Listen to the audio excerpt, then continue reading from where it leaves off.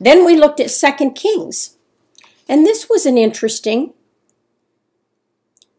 account of Elisha the prophet and the Syrians were making war with Israel. And the king of Syria thought there was a snitch in the camp, couldn't figure out how are we getting found out every time? Why is it we're losing these battles? We're having these meetings in secret. So, what's up with this? do we have a snitch? We found out no. The king's servant said to him, Well, there's a prophet in the camp over there at Israel, and he knows what you do even in your bedchamber. I'm going to say it again, that's true today. So the king wanted to know, well, find out where he is. Found out he was in Dothan. So in the night, the king, the enemy, surrounded the whole city of Dothan with horses of horses, chariots.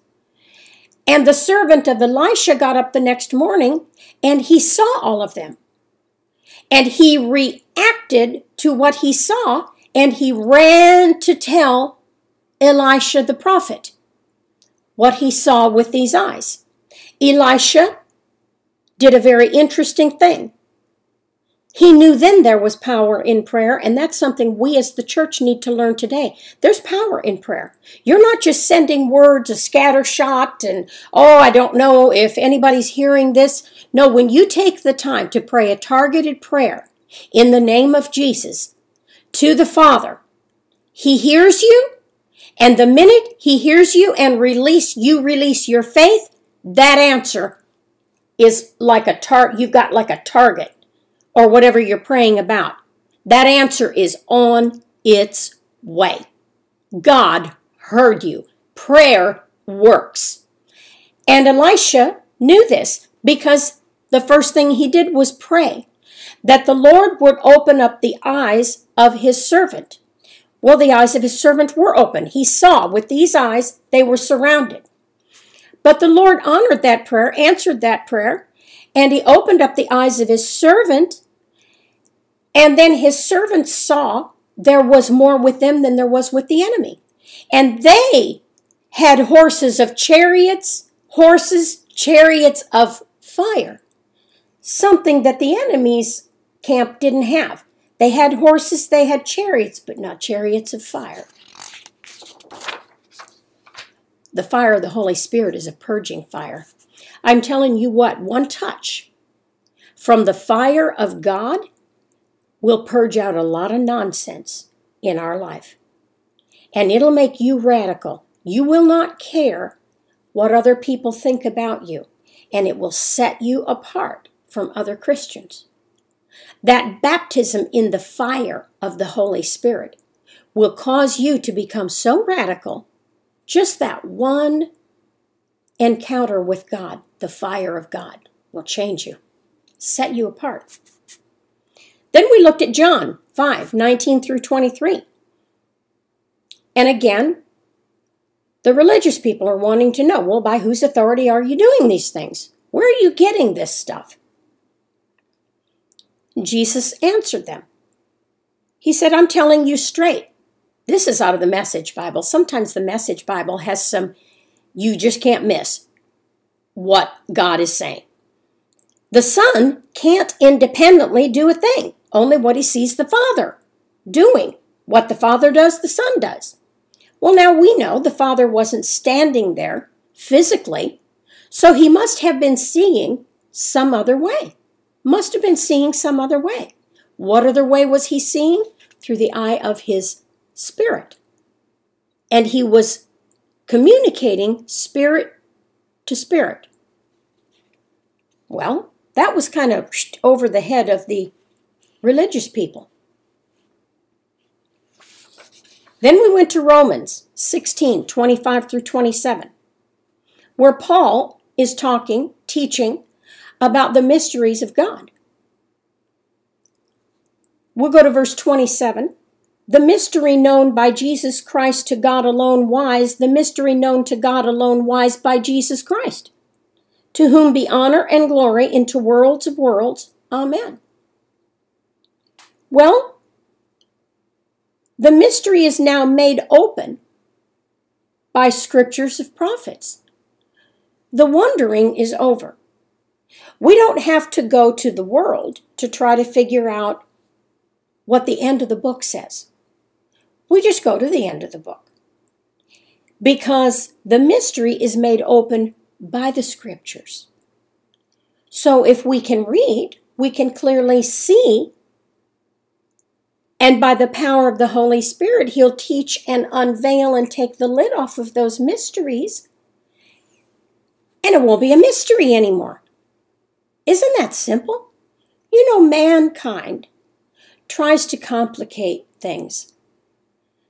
When God makes hearing from Him, living through Him, Him loving you, you receiving from Him, you obeying and answering a call that He has on your life, living the Christian life through the finished work of Jesus Christ, He makes that so simple.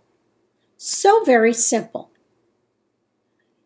All you have to do is surrender yourself to Almighty God. Acknowledge the Holy Spirit as your teacher. You can't do that for somebody else, but your teacher. And read the scriptures with an expectation that, that those words on those pages come to life by the power of the Holy Spirit. And you will find a rest that you've never experienced in your life before. So we saw that Paul, the Apostle Paul, he too was teaching along the same lines and experiencing revelation knowledge, and then was teaching the church through letters and through speaking in their presence that the mystery has been unveiled by the scriptures, by the prophets. So if we can read, we can find out what the mysteries are, and they're not mysteries anymore. Isn't that simple? Then we went to Revelation, the book of Revelation, chapter 1, verse 1. This is a revelation from Jesus Christ. Well, we said a revelation is something where the mystery is revealed. Now, notice it does not say this is a secret from Jesus Christ, which God has not allowed him to make known to his servants, going to keep it a secret. No, no, no.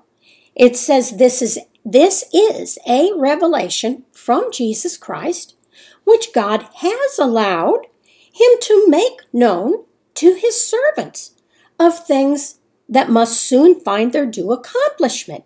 And he has sent his angel to disclose the pattern of it to his servant John. So again, we see that revelation is knowledge that was kept secret at one time, but now the lid is off. And who takes the lid off? The Holy Spirit. But how does that happen? He takes the lid off by you just acknowledging, You're my teacher, you're the revealer of all truth. Jesus said that. You can't lie by saying what the Word of God says. Now we're going to go to Matthew. And this is when Jesus is having a conversation with his disciples. Now he has been questioned at length by the religious people. They continually were trying to find out well, who qualified you? How is it by whose authority are you doing these things? So Jesus went, Matthew 16, 13 through 18. So Jesus went to the area of Caesarea Philippi. He said to his followers, the disciples, Who do people say I am? They answered, Well, some say you're John the Baptist. Others say you're Elijah Elijah was one of the prophets. And some say you're Jeremiah or one of the prophets. And Jesus said to his followers, And who do you say I am? And Simon Peter answered, You gotta love Peter. You are the Messiah, the Son of the living God. Now I want you to see how Jesus answered him. We spoke earlier that Jesus said to the religious people, The problem is you haven't seen him referring to Almighty God in this. You haven't, but I have seen him. I have recognized him. Now keep that in mind concerning the answer that Jesus, the comment Jesus made to Peter when Peter said, You are the Messiah, the Son of the living God. Jesus answered, You are blessed, Simon, son of Jonah. No one taught you that. My Father in heaven showed you who I am. Wow. Do you know? That is still true today. Unless the Holy Spirit reveals to you who Jesus Christ is, you will struggle. Because Jesus said, No one taught you that. We have far too many churches in America today that are just teaching information and not encouraging and inspiring the people to seek God, to acknowledge the Holy Spirit as their teacher, so that Jesus can say to you, just like he said to Peter, No one taught you that. My Father in heaven showed you who I am. That's available today. There are people who live in countries where they don't have a church to go to every week. There aren't conferences, they're sneaking around. Trying to watch conferences on the internet, a word here, a word there. I think of when we lived in Saudi Arabia and how the people were so hungry that they risked their life to come to a meeting. We risked our life by even having a meeting. But you know, that didn't matter. Never even thought about that. As far as every day in sort of a dreadful way, didn't think about that. We were so hungry for God, and I, we still are. I'm as much on fire, if not more, I am more, than I ever was. Because I see the importance of revelation knowledge and that each child of God know how to connect, hear from the Holy Spirit for himself or herself. Because you might find yourself in a remote place. And if you don't know how to do your own praying, you don't know the voice of your shepherd for yourself, you're going to find yourself in a very unhappy, unrestful, and possibly unsafe position. That's why it is so important that church today not become a club. We in America have so much. But it's not a club. That's what the Elks and the Moose Lodge and all of that is for. It's not a social event. It's not where people go bowling and pizza parties and car washes, and that's not why we're there. God will provide those things if He sees fit that we need them.